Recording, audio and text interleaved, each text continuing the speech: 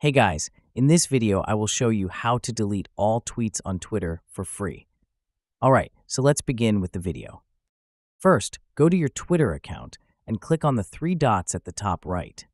Hover your mouse over Extensions and then click on Visit Chrome Web Store. From here, type in Delete Tweets, then click on the matching result and make sure to install this extension. I've already installed it as you can see the extension at the top. Now let's go back to Twitter. Click on the extension and then click on Delete All. Right now, let's go back to my account.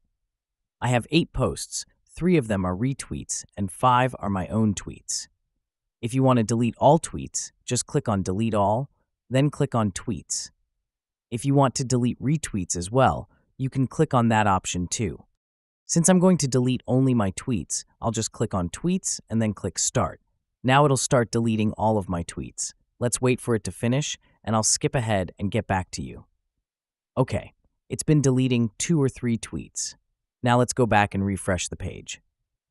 There you go. Now I only have three posts, which are retweets. And that's it. So that's basically how you can delete all tweets on Twitter for free. So that's all for this video. Consider subscribing if you find it helpful, and I'll catch you in the next one. Thanks.